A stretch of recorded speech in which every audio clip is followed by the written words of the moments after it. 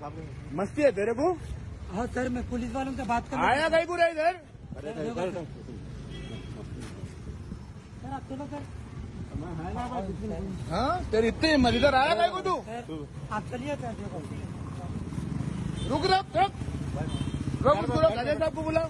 इस गाड़ी में बेटा उसको पुलिस स्टेशन ले जाओ। बेटा उसको बेटा ले जाओ मुन्ना भाई। ए बाइक। गांड पड़ रही अब तेरी बैठ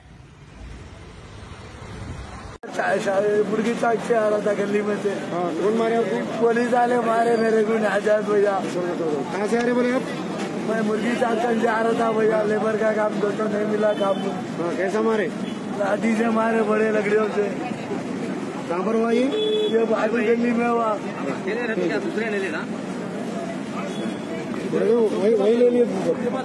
वो ले लिए बढ़िया रहमतुल्लाहि वरकातुहू मैं ओल्ड सिटी और पूरे हैदराबाद के मुसलमानों से कहना चाहता हूँ।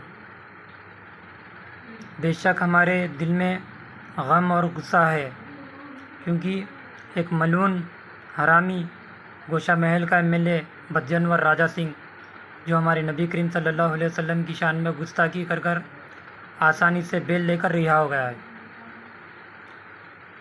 इसके लिए हम लोग प्रोटेस्ट कर रहे हैं, जिसमें पुलिस लाठी चार्ज कर रही है, किसी के पैर पर मार पड़ रही है तो किसी के सर पर मार पड़ रही है। किसी के घर में रिप्रोडक्शन फोर्स जैसा शाली बंडा पे पेश आया वाक़ घर में घुस के मार रही है।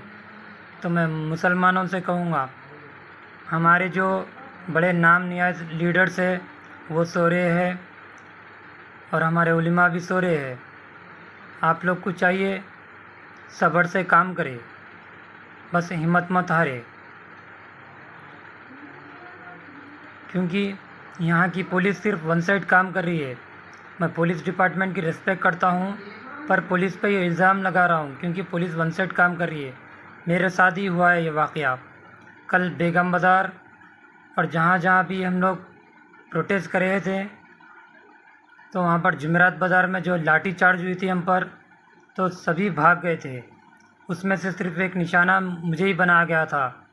पुलिस की लाठी चार्ज में मुझ पर ही मार पड़े थे और बेगम बाज़ार का चिंदी चोर लड्डू यादव की गैंग भी मुझ पर ही अटैक करी थी। वो वीडियो भी बनाए थे। तो मैं वही बोलूँगा, मुसलमानों, ये पुलिस सिर्फ़ वन साइड काम कर रही है, हमारे लिए काम नहीं कर रही है। एक एडवोकेट कवी अब्बासी भाई सिर्फ़ नूपुर शर्मा के ख़िलाफ़ बयान देते हैं तो वो एक महीने से ज़्यादा जेल में रहते हैं। लेकिन ये हरामी हमारे नबी करीम सल्लल्लाहु अलैहि वसल्लम की शान में गुस्ताखी कर कर सिर्फ़ इजी बेल ले लेके रिहा हो जाता है। तो मैं गोशा महल और लड्डू यादव उन हरामियों से कहूँगा, तुम लोग ने मुझ पर अटैक किया, लेकिन मैं भागा नहीं, तुम लोग ने वीडियो भी बनाया, लेकिन मैं डरा नहीं। पुलिस डिपार्टमेंट के सामने तुम लोगों ने मुझ पर अटैक किया, मेरे सर पर मारा लट से। मेरा सर फूटा, लेकिन मैं डरा नहीं और ना कभी डरूँगा। अल्हम्दुलिल्लाह, तुम लोग जो चैलेंज करते थे, मैं वहाँ तक तो घुस कर बताया।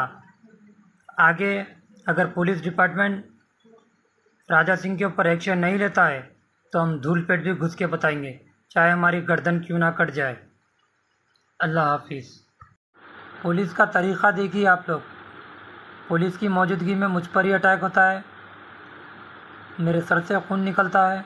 तो पुलिस मुझे एमएलसी के लिए उस्मानिया हॉस्पिटल लेकर नहीं जाती है, ना ही मेरी कंप्लेंट लेती है।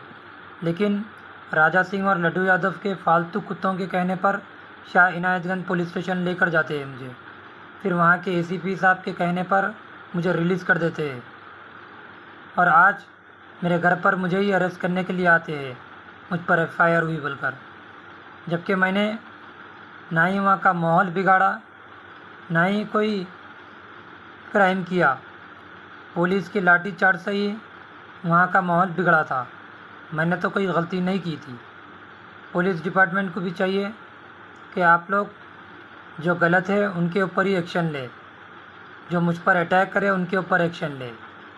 जो लोग माहौल को ख़राब करे हैं, उनके ऊपर एक्शन ले। ना कि हम मुसलमानों पे एक्शन ले। अल्लाह हाफिज़।